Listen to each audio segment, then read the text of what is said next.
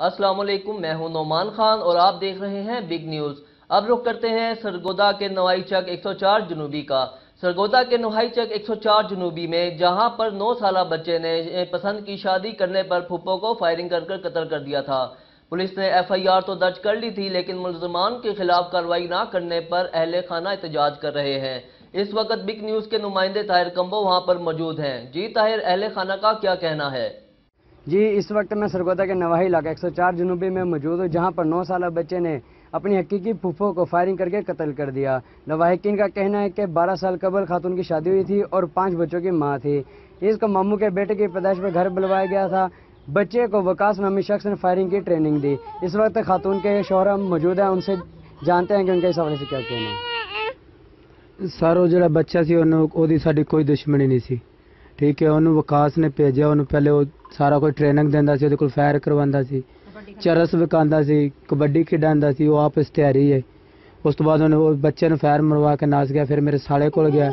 ਉਹਨੂੰ ਕਹਿੰਦਾ ਤੂੰ ਸਾਰਾ ਕੁਝ ਆਪਣੇ ਤੇ ਲੈ ਲੈ ਤੇ ਮੈਂ ਤੇਰੀ ਜਾਨ ਛੁਡਾ ਦਿਆਂਗਾ। ਉਸ ਤੋਂ ਬਾਅਦ ਉਹ ਚਾਰ ਬੰਦਿਆਂ ਦੀ ਹੋਰ ਧਮਕੀ ਲਾ ਰਿਹਾ ਮੈਂ ਚਾਰ ਬੰਦੇ ਹੋਰ ਮਾਰਨੇ ਨੇ। ਇਸ ਤੋਂ ਇਲਾਵਾ ਸਰ ਸਾਨੂੰ ਇਨਸਾਫ ਚਾਹੀਦਾ।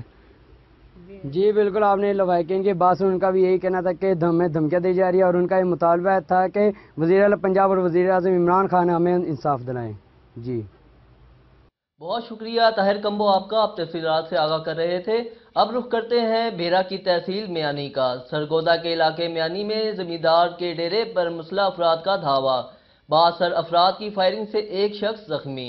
नवाही इलाका म्यानी में ज़मीन के तनाज़ा पर फायरिंग करके सत्तर साल गुलाम मोहम्मद को डेरे पर जख्मी कर दिया, जिससे वो शदीद जख्मी हो गया। मजरूब को तफशीशनाक हालत में डी एच क्यू अस्पताल सरगोदा मुंतकिल कर दिया गया, जबकि लवाहिकीन का कहना है, ज़मीन हमारे नाम होने पर भी कब्जा करना सरासर ज़्यादा है। लवाहिकीन का कहना था कि पुलिस ने एफ़ आई आर तो दर्ज कर ली, लेकिन अभी तक मुलजमान को गिरफ़्तार ना कर सकी।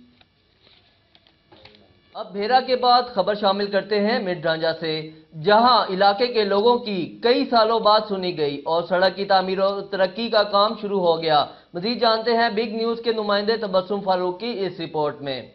भागटा वाला ताजचक नंबर छियासठ जनूबी सड़क की तामीर और मुरम्मत का काम शुरू कर दिया गया।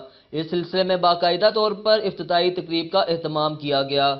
इस प्रोजेक्ट की हर वक्त और कामयाब तकमील की खातिर खसूसी दुआ की गई। और खान बरदरान खान असद खान और अशर खान की जानब से दो बकरों का सदका भी दिया गया। रिफ्रेशमेंट का इंतज़ाम भी खान बरदरान की जानब से किया गया। वाज रहे कि मस्कूरा सड़क एक तवील अरसा से टूट फूट का शिकार थी। सड़क की तमीर व मुरम्मत का काम शुरू करवाने पर अहल इलाका ने रुकन सूबाई इसलम ली।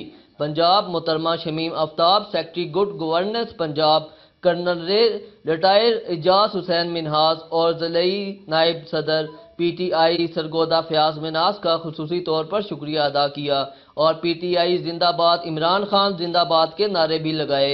Mohammad Tabassum Farooq big news reporter मेड्रा